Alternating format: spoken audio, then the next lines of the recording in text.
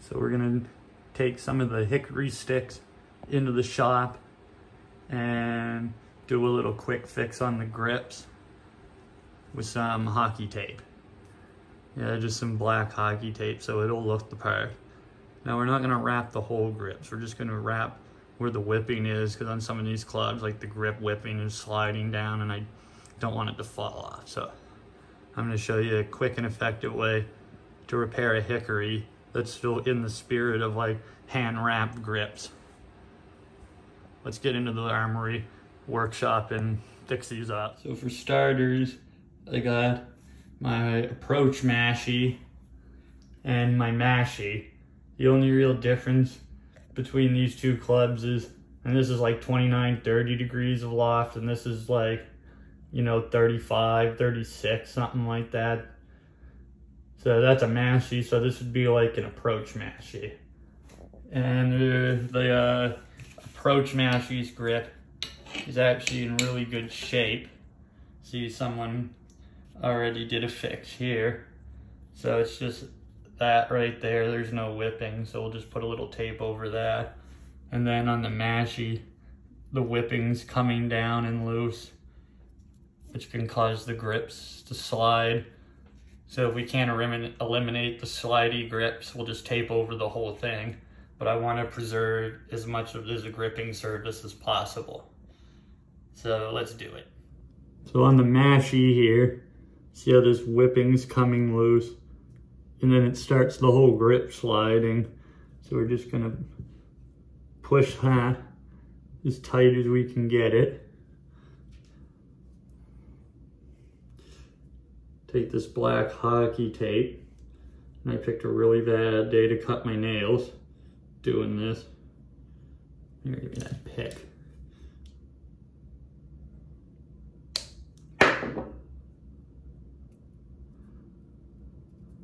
And we're just gonna basically use this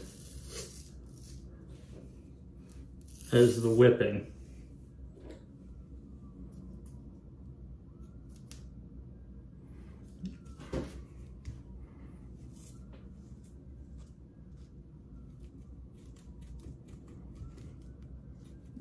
I gotta sharpen these scissors.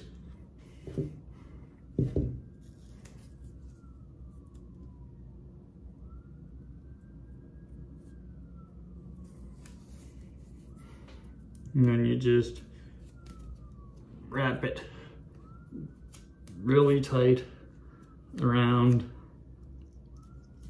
the whipping. Yeah, that part of the grip is popping right up. We're gonna have to tape this whole section. See the tension's causing that to pop up. I'll have to fix that.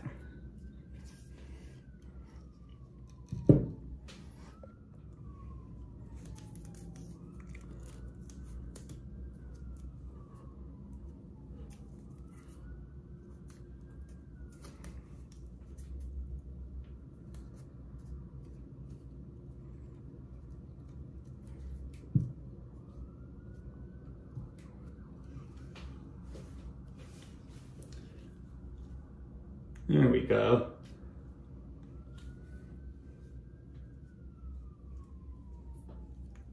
So the no grip slip on the mashie anymore. We had to add a little more.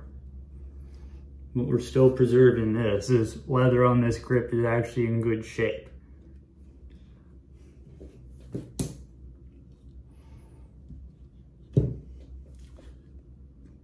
Now we're just gonna touch up the approach mashie here. You can actually see the underside of the grip wrapping. So this doesn't have any whipping.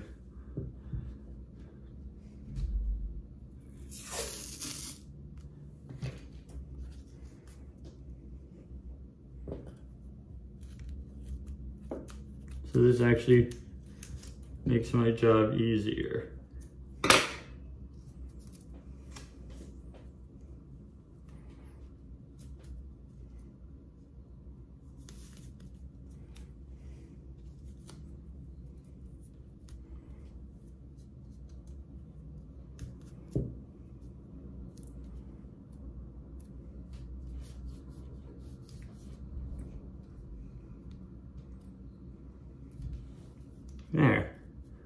And clean that right up. So now let's go grab the putter because that's got a lot of grip slip. So here is my English style putter. And the guy said this putter is from 1905. And it's actually a really cool putter. And it feels good when you hit a good putt with it. Well, I was blown away just how good this putter felt. Well, you know, you're expecting a brick, but you forget that, you know, they look archaic, but these are very well-made, handmade items. But it basically works just like any one of those, uh, you know, uh, like compact mallet putters. I'm up there showing people how to repair hickory clubs, and then all you hear is like, are you up there fucking cranking it? yeah, I'm living with this guy again. He moved back into me till I move out of here because I'm moving to Icon Bay. So this guy's gonna help me move. So yeah, this one's got a lot of grip slip. So we'll just compact that. And then the whipping's falling down. So, right, same dealie.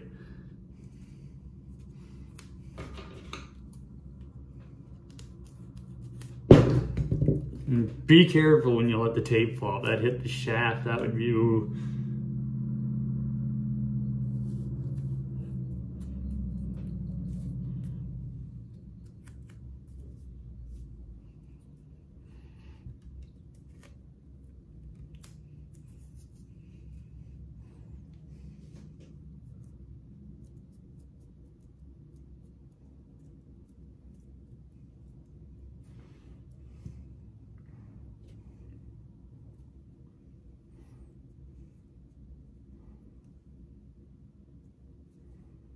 Put a little bit the top too.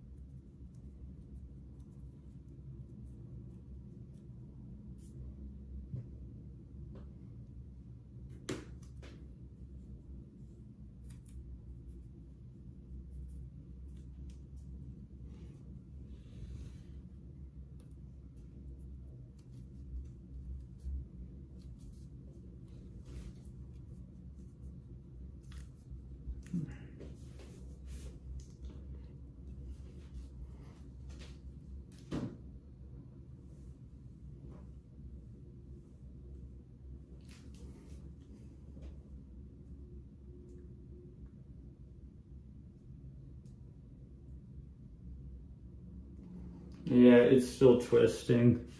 We're just gonna have to wrap this whole club.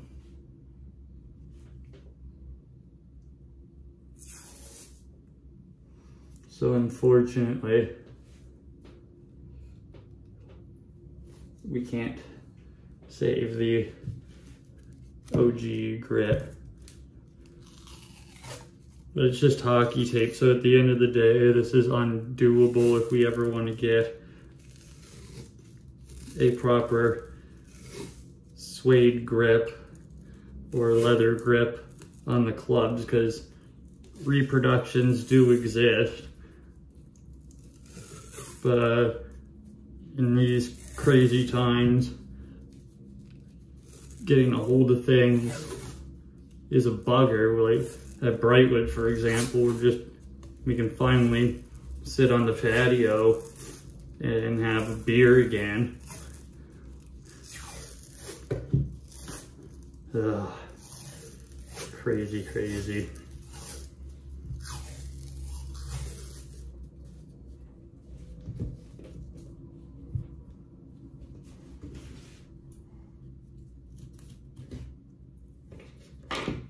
And there you go. Grip slip eliminated. I might end up doing this eventually to all of them, but I want to keep the original gripping surface. But this is still in the spirit of the old school fix. And yeah, that black hockey tape actually, you know, looks really fitting. There you go. Any other clubs that need to be fixed, let's check them. So here's my mid iron and it's not looking too bad. Looks like somebody already did a repair. Some of it came off, so we'll just put a few pieces over that. And then we got my rip stick. I actually checked the degrees on this and it's about, you know, 14, 15, 16 in that range. So I believe this is a brassy, not a driver per se. So I believe we hit this off the deck. I'm gonna try it. But the, this is probably one of the better grips for play. So same deal, we'll just touch up what's loose. So we'll do the brassy first. Oop. So that's good that we just have to touch these up.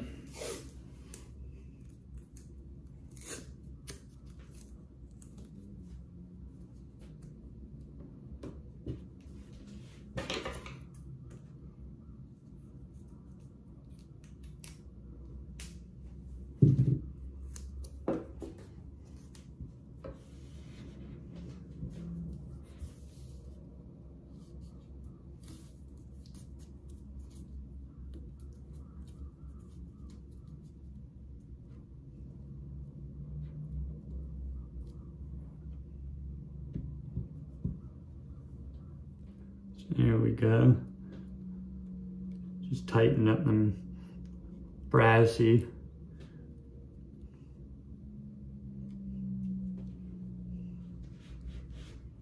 And we'll do the same with the mid iron. I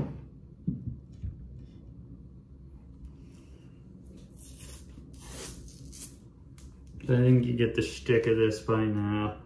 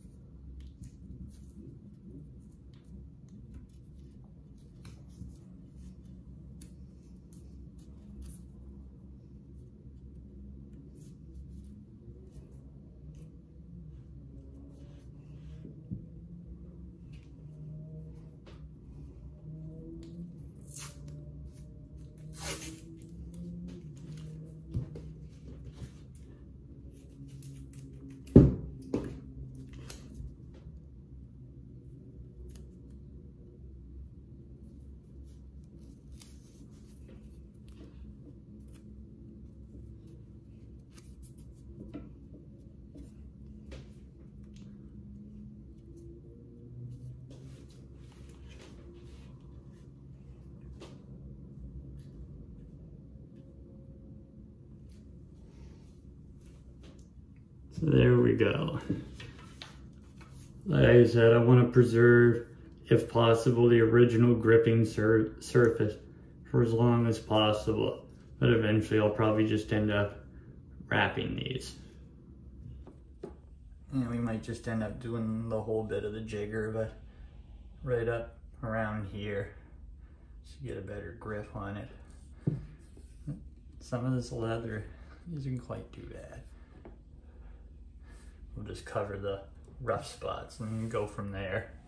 There we go. Covered up the rough patches. Eventually I'll just probably end up wrapping this, but I want to get the leather grip feel for as long as I can.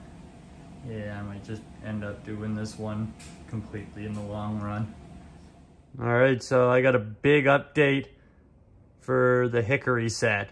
I just found a good deal on eBay for a Mashie Niblick and a Niblick. So that will basically fill the gap after the Mashie. I think the Mashie Niblick is 39 degrees, 40 degrees, something like that, according to the seller. And then I think the Niblick is like 50, 51 degrees. So it's basically, I believe, close to my modern 8 iron. And then the Niblick is basically a gap wedge. So I'll have those clubs for the higher flighted shots, like near, know.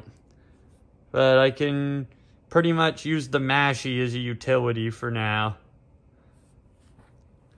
And when I get the Niblick, anything played for official Society of Hickory Golfers handicap once I join the Society of Hickory Golfers because I plan on doing that. Any score posted this faux hickory sand wedge will be removed because the guy only wanted 15 for that because it's faux hickory. Still got the waffle iron face though. But I'm just holding on to this till I can get a proper 56 degree uh, Niblick from Louisville Golf. Because I'm either going to get that first, so then I have a nice uh, complete hickory set, or I'm going to get a spoon wood. Like a 20, 21 degree uh, basically fairway wood, second off the tee club. Because the two iron in this set is like 24 degrees, so it's basically a four iron. I think the four iron I play with is around, is 25. And some modern ones I got lying around are like 23. But yeah, keep an eye out for that. I'll definitely do a hickory what's in the bag and explain more when I get the uh, Niblick and the Mashie Niblick. So stay tuned till then. New Scott out.